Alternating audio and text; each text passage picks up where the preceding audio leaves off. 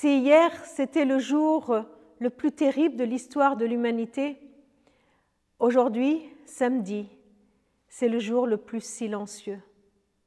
Le plus silencieux. Marc 15, 42. Le soir était déjà là quand arriva Joseph qui était d'Arimathée.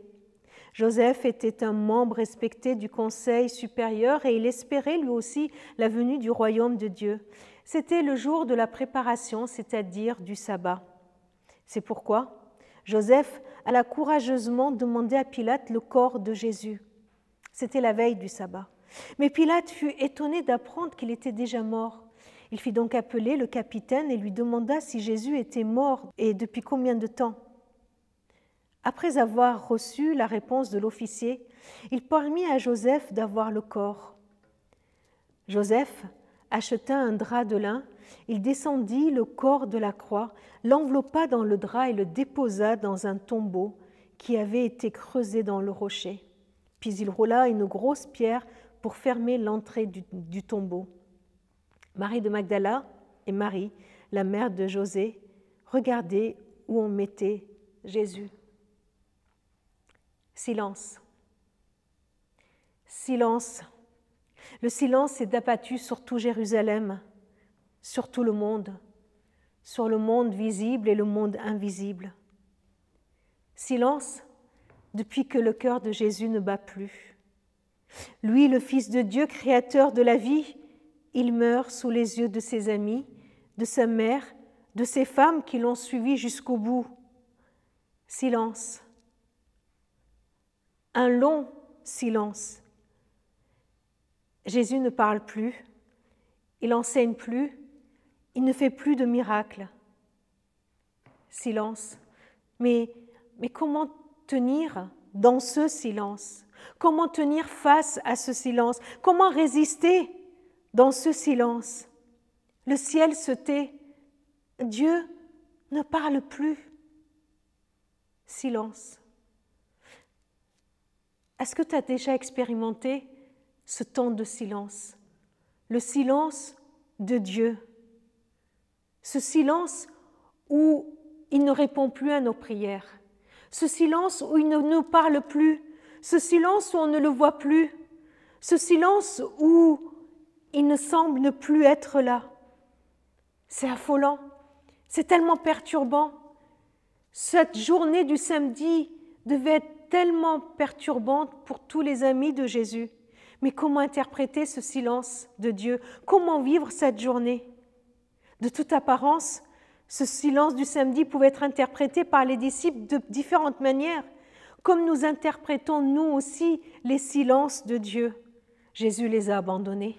Ça y est, ils sont seuls. Jésus n'est plus là, il ne peut plus les guider. Jésus ne peut plus les conseiller, Jésus ne peut plus les enseigner. Qui va faire désormais les miracles, guérir les malades, calmer les tempêtes de leur vie? Jésus n'est plus là pour le faire. Ils sont seuls. Dieu ne parle plus. Ce silence veut dire aussi qu'ils n'ont plus, qu'ils n'ont plus quelqu'un avec à qui s'accrocher.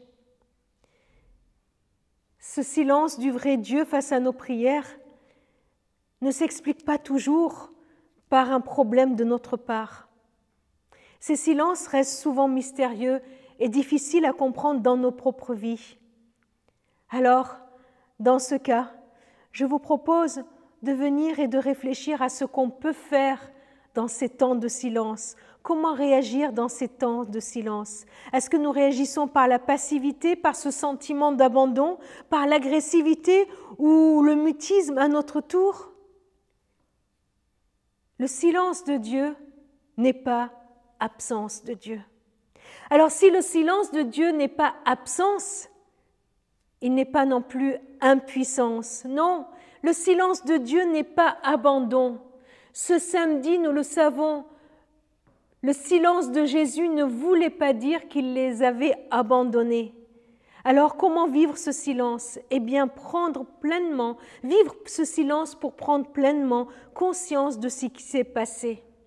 Pendant toute cette journée, je suis sûre que les disciples ont dû passer dans leur tête toutes les scènes de la veille, réfléchir sur ce qui s'est passé, Jésus est mort, réfléchir à l'œuvre de Dieu.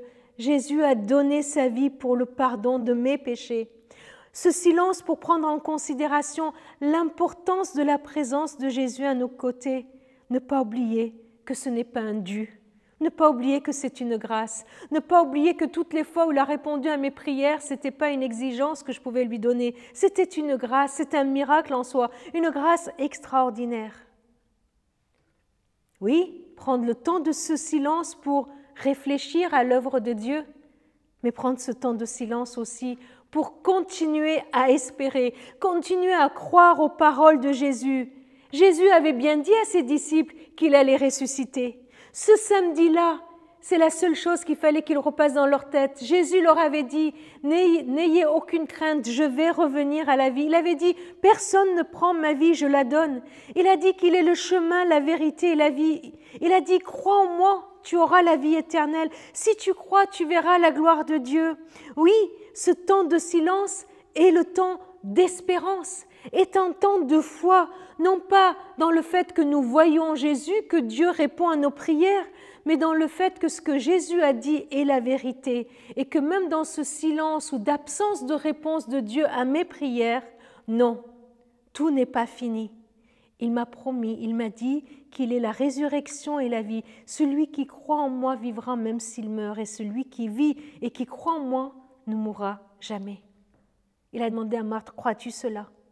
Et aujourd'hui, dans ce samedi de Pâques, il vient te demander à toi, il vient chez toi, toi qui es devant ton écran, et il te demande, et il te dit, peut-être qu'aujourd'hui, toi aussi, tu vis un long silence de la part de Dieu.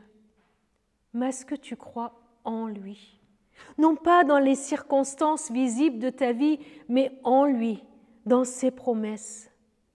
Alors venez, ensemble, comme les psalmistes, parlons, échangeons avec Dieu, exprimons-lui notre désarroi face à son silence. Père, pourquoi m'as-tu abandonné? Et, et exprimons-lui notre foi. Non, Seigneur, ton silence ne veut pas dire que tu es absent. Nous, je veux continuer à croire dans tes promesses.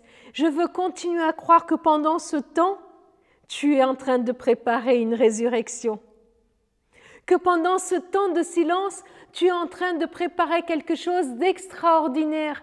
Alors ce temps de silence est un temps d'espérance pour moi et pour toi. Continuons à espérer en Christ, en celui qui est mort et en celui qui est ressuscité. Et dans l'attente de voir la victoire venir, dans l'attente de voir la victoire dans tes combats, dans l'attente de voir la réponse de Dieu à tes prières, vis l'espérance.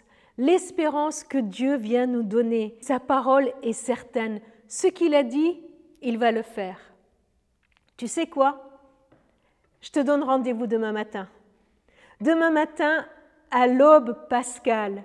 Demain matin, viens, viens, que ce soit à l'église, que ce soit pour suivre ce culte. Demain matin, nous allons fêter la résurrection de notre Seigneur. Oui, c'est cela l'espérance de Pâques, qu'après ce temps de silence, il y aura la victoire. La victoire, elle est là. Jésus est mort, mais il est vivant.